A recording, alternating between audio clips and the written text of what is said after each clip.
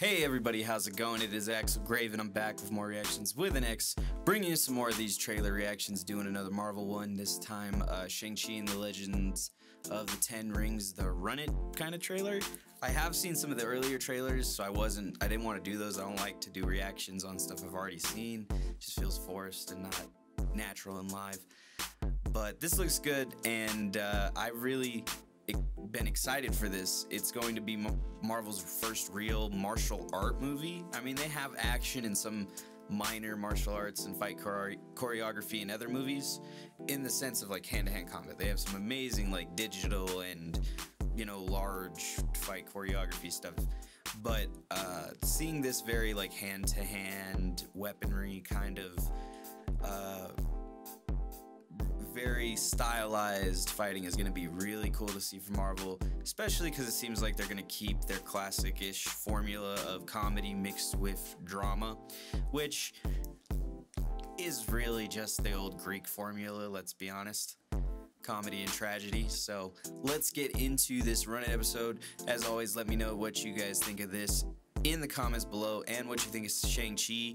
Did you read comics before this? If so, what's your favorite run with Shang-Chi in it? Personally, mine's has got to be Avengers World. I mean, seeing a several hundred foot tall Shang-Chi punch the shit out of giant uh, things is easily one of my funniest, favoriteest panels just in my opinion. And that's not to mention all the other great stuff he in, including his own series. Now he's gotten his own a couple times. I think he got, um, but his one that's currently running and the one that run ran right before this, where he was kind of vying to be the new head after his father passed away and his siblings showed it. It's a long story. Check it out in the comics, but it was not bad at all. I enjoyed it quite a bit, and I think it shows a little more of the character of Shang-Chi, who is a little bit more of a laid back kind of funny person. He, he can be serious and he is still pretty proper, but he's a very like laid back kind of guy for the character that he represents, this very strict martial arts right expert is what you'd expect but he is you know the greatest martial artist on earth in marvel and still pretty chill dude so I, have always enjoyed shang-chi uh, well old old shang-chi is not like that but the shang-chi they've written since about 2000 is much more relaxed and uh, down to earth so let's uh, let's get into it We've been friends for 10 years. Then everyone's mad at her, I guess. You don't like to talk about your life but a guy with a freaking machete for an arm just chopped our butts in half. Oh, that's actually sweet. D. Who are you? My father trained me to be the Ten Rings' greatest weapon. But That's not who I am. How did you find me? I always know where my children are against the world, I got my back against the wall. Seems like a nice fella. That's coming soon. Hope I really am.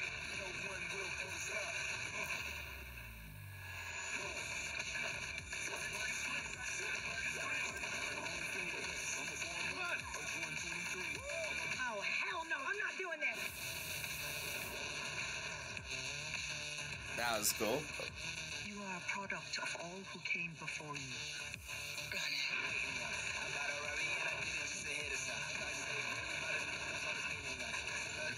Your fault.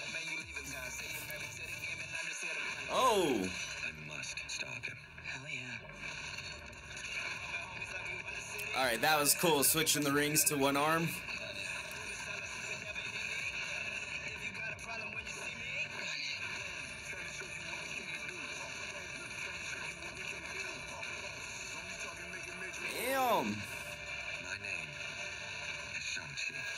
Shang-Chi. Shang. Shang. Shang. Shang. S-H-A-N-G. Shang. That's what I said. Oh, you can turn it up? Yeah, you can hear me. they love. Wait, wait, wait. No, no, this one's like a very commercially commercial. They usually would save the little funny part for after, but that was pretty good, guys. I enjoy it. I don't know. I'm obviously biased, right? Like you guys should know if you watched anything I make that I like Marvel. Uh, I enjoy the stuff they make. Pretty much across the board. Obviously, they make some fat duds along the way, as we all do. But you know, for the most part, Marvel seems to do a pretty good job on the adaptation of their characters as an overall property. Some ter- characters take hits because of that, uh, but I think the important characters basically get the spotlight and the shine that they deserve for the most part. Sometimes they lack, such as the Hulk. And uh, if you don't know why that is, it's a little thing called legal issues. uh, yeah, that's called property rights. And uh, until they get that back from Universal, they're not going to put a lot of effort into the Hulk, unfortunately. Sadness. But with characters like these, where they do own the titles and basically all out there, gonna put a ton of energy into them, and they do a lot in the sense that, like, even in the comic community, right? Like Shang Chi has been releasing comics for about about a year, where he's been more heavily featured or had his own comic uh, on and off that is hopefully supposed to build hype for him also in the comic community, kind of build some connections, and also to reformat the comic characters to kind of, in a lot of ways, more closely resemble their MCU counterparts.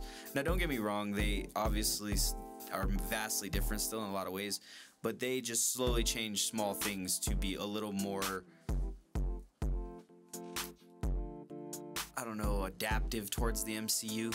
And so seeing that can be a good or a bad thing, I think I'm just excited to see it for Shang-Chi because he is one of my more enjoyed kind of I guess you could call them a second tier character in the sense that Shang-Chi is not weak or anything, but he just doesn't get the shine that he des- deserves as the master of martial arts on earth, right? Like, it's widely considered that he's one of the best, if not the best, fighters on earth in the Marvel Universe. Um, basically, flat out, there's very, very little that, that contradicts that. And so then to not see him be a mainstay in a lot of the Marvel Universe stuff in the comics for a large chunk of time or four large chunks of times is a little disappointing to me because he really does have some potential with his background and other things to be a very interesting to write character and a character that you can take on these adventures that do different things. And I think they're doing a pretty good job of that in the new Shang-Chi comic that has recently come out which you guys should check it out if you haven't. And as always, remember support the original content creator. You know, if you enjoy watching us, like, comment, you subscribe, maybe. No, yeah, that's fine. Also, you know, I just appreciate you guys watching, and uh, I'll see you guys next time.